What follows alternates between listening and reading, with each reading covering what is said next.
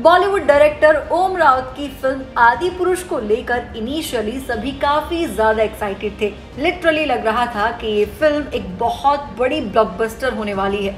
लेकिन जैसे ही फ़िल्म रिलीज़ हुई ऑन सिक्सटीन जून सभी की एक्सपेक्टेशंस औंधे मुँह गिर पड़ी।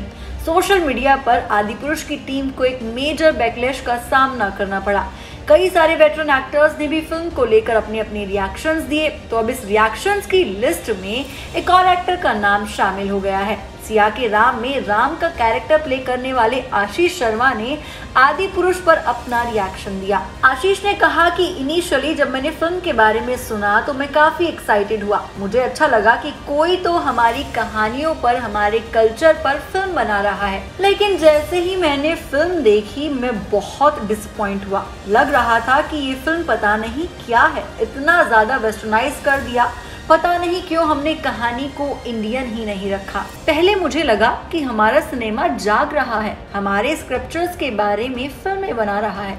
लेकिन जैसे ही फ़िल्म देखी, मेरी सारी एक्सपेक्टेशंस धूल में मिल गईं। ऑडियंस के पॉइंट ऑफ़ व्यू से मैं काफ़ी डिसअपॉइंट हुआ और एक्टर और एक आर्टिस्ट के पॉइंट ऑफ़ व्यू से तो और भी ज़्यादा डिसअपॉइंट हुआ। फ़िल्म देखकर मुझे लगा कि इसमें रिसर्च तो बिल्कुल है ही नहीं। It's a lazy attempt at making Ramayan इतना ही नहीं, आशीष शर्मा ने तो ये भी कहा कि लगता है इस फ़िल्म को व्हाट्सएप फॉरवर्ड से बनाया गया है। इसी के साथ आशीष ने कहा It's like just trying to cash in on to the Hindu wave in the nation right now.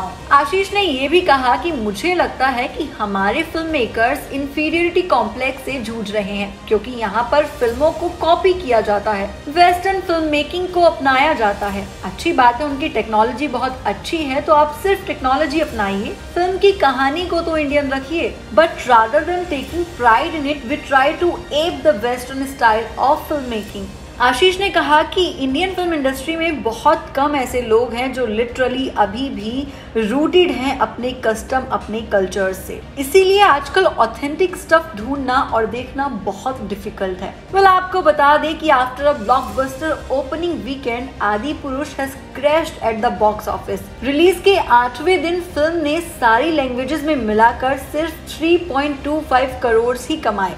आठवें दिन की कमाई को लगाकर आदि पुरुष का डोमेस्टिक कलेक्शन अभी तक 263.15 करोड़ ही है। 16 जून को फ़िल्म रिलीज़ हुई और रिलीज़ के बाद सोशल मीडिया पर इतना ट्रोल हुई, इतना ट्रोल हुई कि अभी तक ट्रोल ही हो रही है। इस वीडियो में फ़िलहाल इतना ही।